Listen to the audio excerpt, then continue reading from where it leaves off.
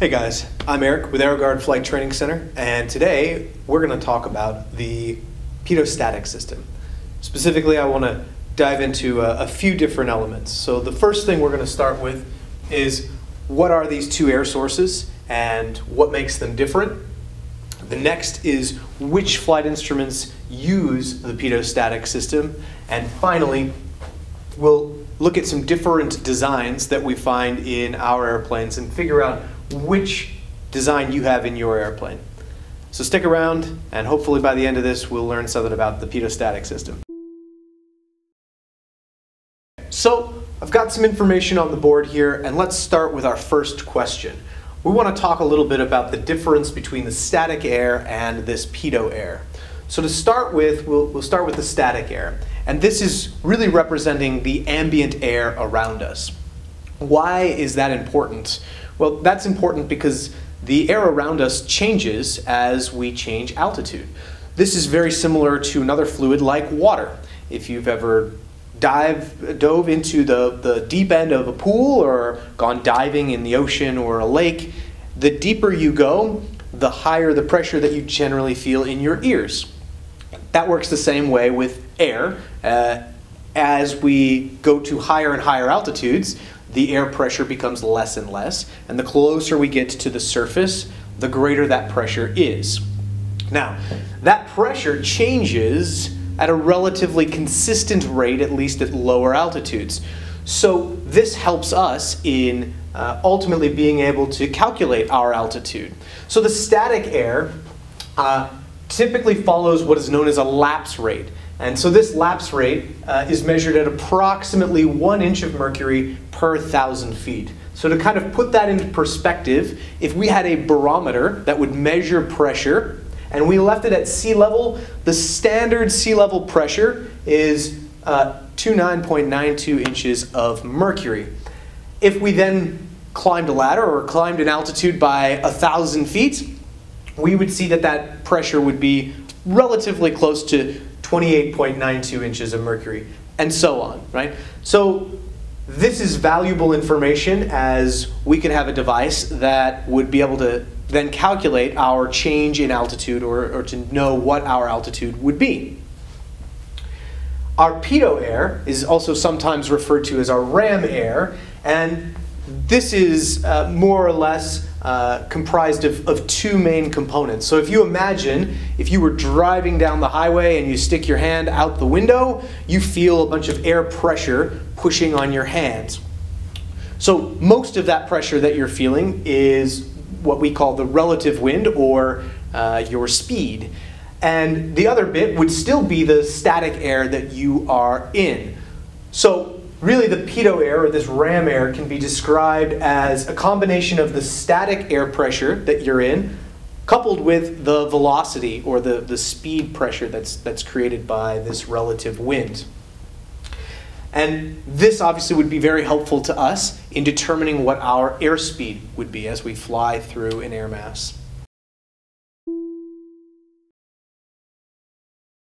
Now we'll move on to question number two, which instruments use the pitot-static system? So uh, there's three flight instruments that ultimately use this pitot-static system, the airspeed indicator, the altimeter, and the vertical speed indicator.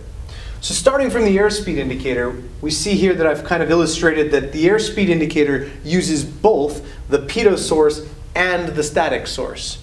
Why would that be the case? Well, the answer if we go back to our first question, was that the pitot air by itself, right, is comprised of both our speed, but also the pressure from the ambient static air.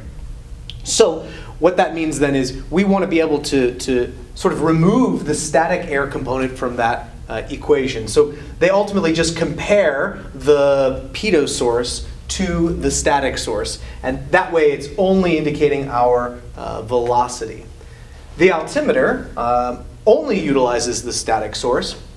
And this is because, once again, based on this lapse rate, we have uh, identified increments of, of where pressures should be at. And therefore, uh, the altimeter is just set up so that it would interpret those static air pressures and then depict the appropriate altitude. Uh, finally, we have the vertical speed indicator.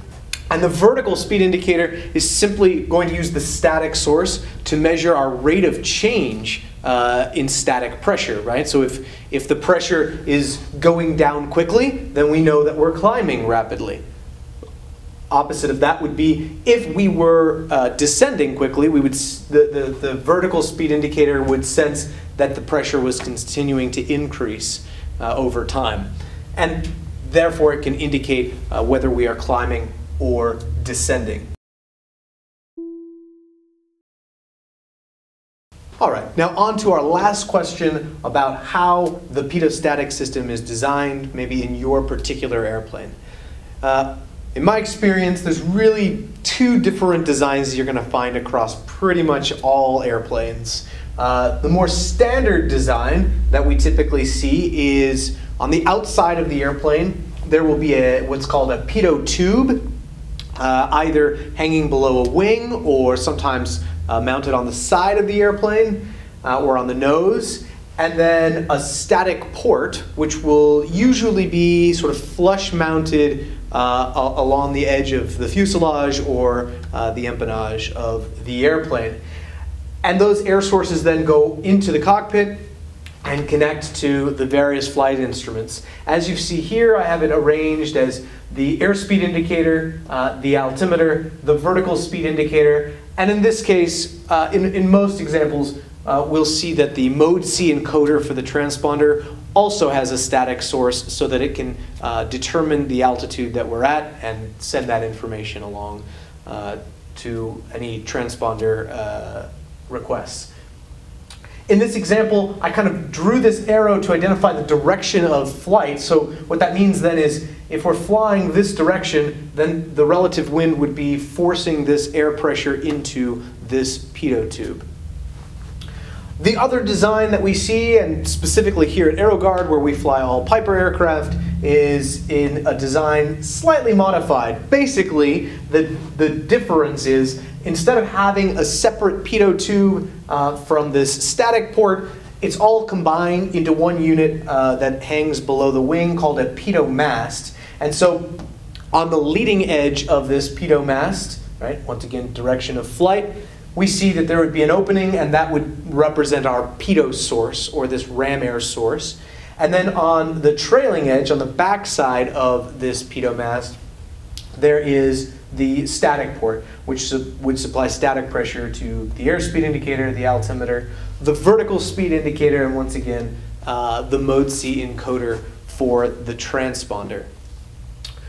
So I hope that this helped clarify any questions you may have had about the pitot-static system. Continue to watch. We're going to have more videos uh, in reference to how each of the flight instruments work as well, and hopefully that will uh, that'll just move you forward in your knowledge.